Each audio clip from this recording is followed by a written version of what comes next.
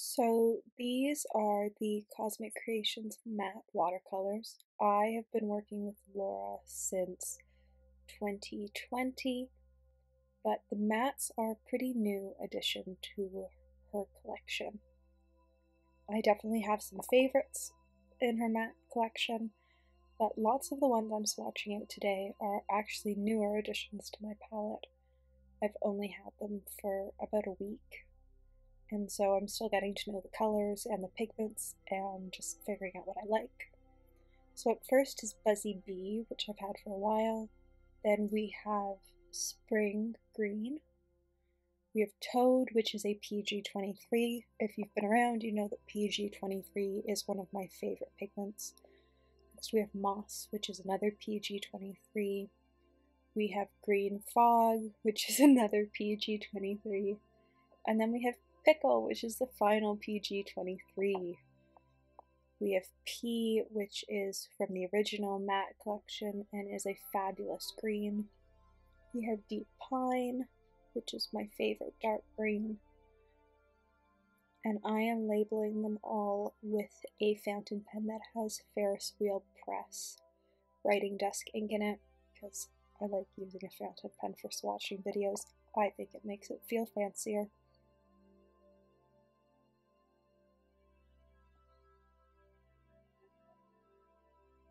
Next up is Quetzal, Stormy Seas, which is a blue-green granulating color.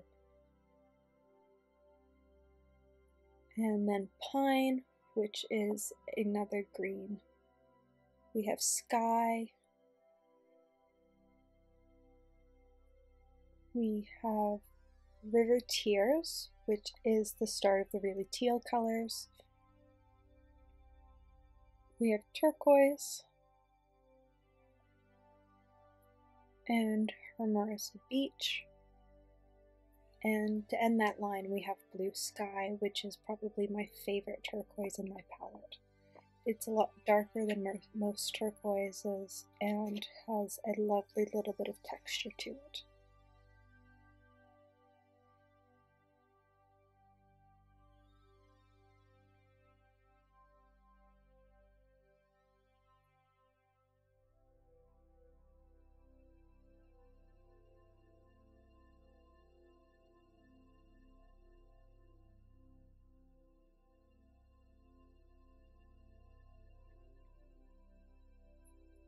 Next up we have Deep Water, which is a phthalo blue.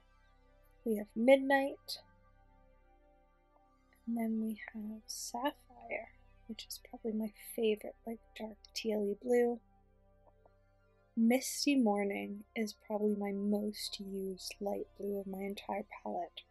Then we have Cerulean and Lilac, which I use a lot in mixing palettes and then lapis, which also gets used a lot in mixing palettes, and violet horizon, which is one of the new granulating colors. It's sort of a purpley blue with brown undertones.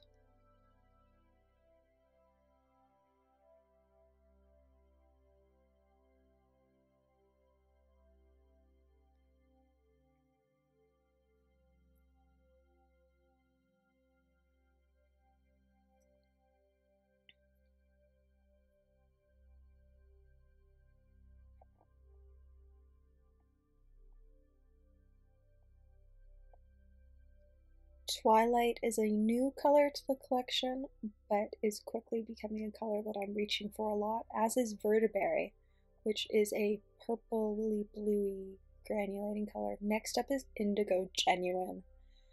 I am so excited to have an Indigo Genuine in my palette finally. Then we have Violet and Sour Grapes, Clover Blossom, Lotus, petal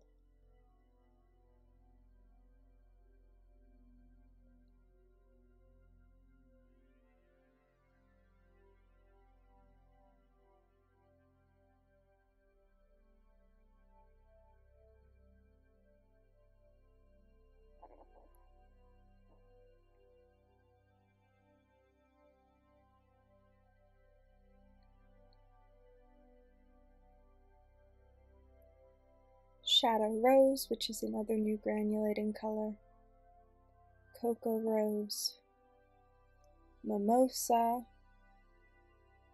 Quin Magenta, Dragon Fruit, which is a much darker sort of magenta color, Dusty Rose, which is a potter's pink,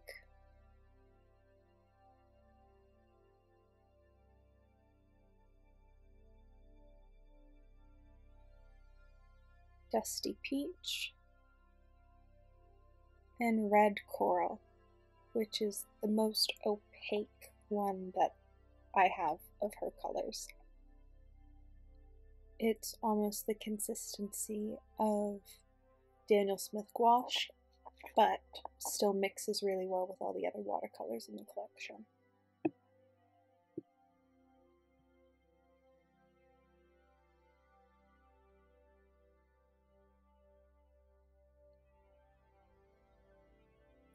We have Cherry, Alizarin Crimson, Truffle,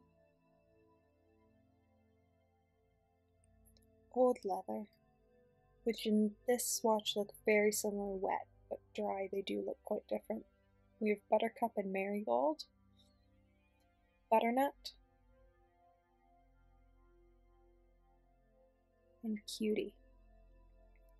I would describe Buttercup as being a slightly more yellow version of like a buff titanium, and it is what I tend to use it as if I don't want to use buff titanium in a piece, or I need something that's ever so slightly more yellow, I'll use Buttercup.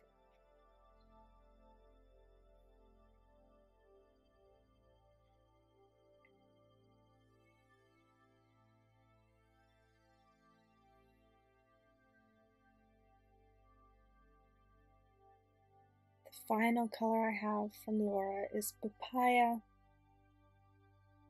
and is another bright orange, but is different than Cutie. And here are all the colors together where you can see all the names.